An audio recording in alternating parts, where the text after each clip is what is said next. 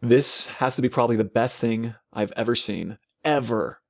No, I'm not talking about the strongbox. I'm talking about this transform. Look at this. Scale 111, rotation 000, position 000.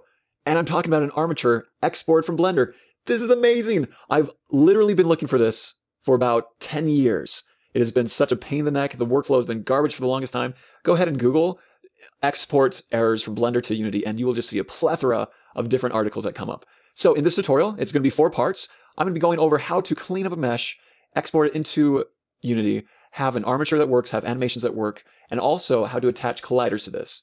And so in this in this tutorial, all I'm going to do is basically the cleanup work, which is still important because you might get a, an asset from a client that's very messy. And there's a lot of cool workflows I'm going to be talking about. I'm going to be talking about vertex groups. I'm going to be talking about, well, it's probably just faster to just show you. In our fur- further future ones, I'll be talking about the exports and things like that. But this is going to be trying our end goal, just having a perfectly clean system. We're going to talk about the ins and outs. It's going to be great. So let's go ahead and go to Blender and look at this. Here we have an asset that is not optimized. There are absolutely no vertex groups. If you hit L, you can see that it's edge split, so it's really hard to select different things. And also, if you hit N, you can see, here, let's go ahead and tab out of this, excuse me you can see the scale's not incorrect. And so I want to be able to get this in a way that I can export different parts or animate by naming the, the armatures the same thing as the different vertex groups. Before I do any of that, of course you want the scale just to be 111.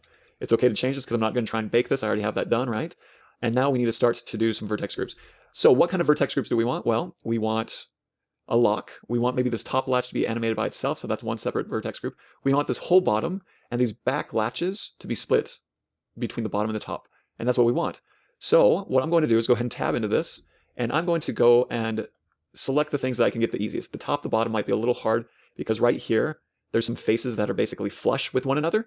And then back here, same with this. This latch and this latch, it's gonna be really hard to see where their faces end and start. So that's the last thing I want to do. Going back to this, this lock, go to vertex selection mode and just hit one. There's not that many vertices behind it. So as long as you get a good amount of vertices, but don't, you know, click something that's not part of the lock like I just did there. This is going to be exactly what we want. Just trying to get a good range of this. Now, this is edge split, so you want to make sure that you get every edge. And now, as you see, I try and rotate. It's not rotating where I want, so I hit period. I hit Control L, and it'll select everything connected to those vertices. Now, do I have them all or not? If you hit G, you can kind of move it and see, and then can just undo that. I'm going to go ahead and turn on the screencast key so you can see this. Close that. Now I'm going to go over here to the vertex panel, and vertex groups, add a new one, double click this and call it lock. Caps lock is on, there we go. And then hit assign. Now I just hit H to hide it, and now I'm good to go for the next thing. So the next thing I want is this latch. Again, hit one.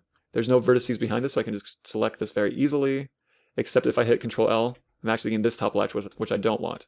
So there is a little bit more subtlety to this one, as long as I get one vertice on that cylinder, and then get this pretty good. There's a latch right behind it, so it's going to be hard. I'm just trying to work around that. I think I got all that. Control L, hit G to move it, and you're seeing the workflow. Go ahead and create a new group. I'm going to call this top latch. And I'm going to go ahead and sign that as well, like that. All right. Now what we're going to do is try and get the bottom. Hit B for box select, select everything. Control L, and that'll select everything like this. Now if I move this, let me show you the problem. It's not getting this top face right there. So it's getting everything except that top face. And on these back latches as well, they're also missing those top faces. So something I can do is control plus. Sometimes that gets other vertices. It didn't in this case. So I'm just going to go ahead and create a new group here. Go ahead and call this bottom. Oops. Now what you'll see is that I didn't create a new group. I'm doing a search functionality, which I do not want to do. Got to double click that and type in bottom. This is not a naming convention. I do that all the time. I'm going to go ahead and assign bottom right there. And then I'm going to go ahead and hide this. And now I want to um, select what I know to be the top for sure, like this. Control L, create a new group, call this top, assign this, and hide this as well. So now you can start to see the different vertices that we're missing, okay? Um, this definitely belongs in the top, so I'll assign that and hide that. But right here, we don't know which one of these is top and which one of these is bottom. It's just the edge of the, the lid and the base right there. And so what I'm going to do is hit N to pull up this menu, mesh display, and then where it says normals, I'm going to click this. And this is going to show the different normals and where they're going. The ones facing up will be on the bottom. The ones facing down will be on the top. So if I select one, just go to face select mode here. I can move it around. This is the bottom because it's facing up, the normal shooting up. So if you hold Control plus and you just do this several times, you can see that it starts just selecting around like this. And we get all those faces. Make sure we move it, see that nothing else is selected that we don't want. I can go ahead and hide those normals at this point, and then go to bottom, hit assign, and then hit H to hide. Now I can go ahead and hit L for these, go to top, hit assign, and then hide. Right here we have these cylinders. These are going to be the joints. I want these to be on the top because I want them to animate with um, the top of the chest, like that. Okay. Go ahead and assign that and hide that. And that's looking pretty good. Now there's a little bit that we need to do, so I'm going to Alt H to unhide everything. And let's make sure that we have things where we want. So I'm going to select lock, hit select, move that, see that that is great. There's nothing wrong with that. So I can hide that. Top latch, select, move that. That's exactly what I want. Okay. And then bottom latch, oh, excuse me. So top latch, select, hide, bottom, select. This is where we're going to see if it's actually what we want. So the top is, hit period to center on what you want to rotate around. This is looking good. If I select this and hide this, you can see right there, I did accidentally add too much of the geometry. Um, you might not know what I'm looking for. I'm looking at right here, there's two faces that are flush. So if I go over here and come, hard to navigate, excuse me, hit period, you can see that this is actually hollow. So I need to move that back, and that's what we're going to be trying to add. So moving that back, I'm going to hide that. Okay. And I'm going to select these cylinders and hide them. Select the cylinder, hide that. And I'm going to do the normals in the mesh display once more. I want the normals that are facing up. So zoom in here. Let's go ahead and hit L. This one looks like it's facing down. Is that right? So the one above it should be the one facing up, which it is. So I will remove it from the from the top. So remove, and then go to the bottom and hit assign. And now I can hide that. I'm just going to go ahead and do that with all of these.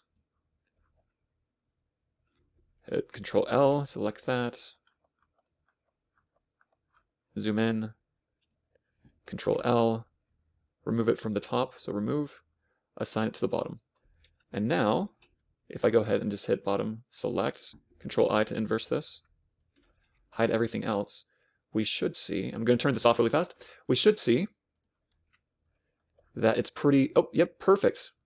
So now I have this mesh even though it's one solid mesh, I have it separated into the different parts. One last thing we're going to do is I'm going to animate this lock in the separate parts.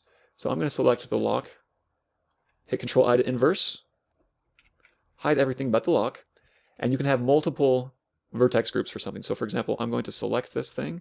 I'm going to select this. So this is basically uh, the lock, the latch part that I'm going to rotate, and that's selected. I'm going to hit New, Lock Top, like such. And then I'm going to go ahead and invert that, hit new, lock bottom. I don't think I signed it, so I'm going to need to assign it. Control I, lock top, assign it.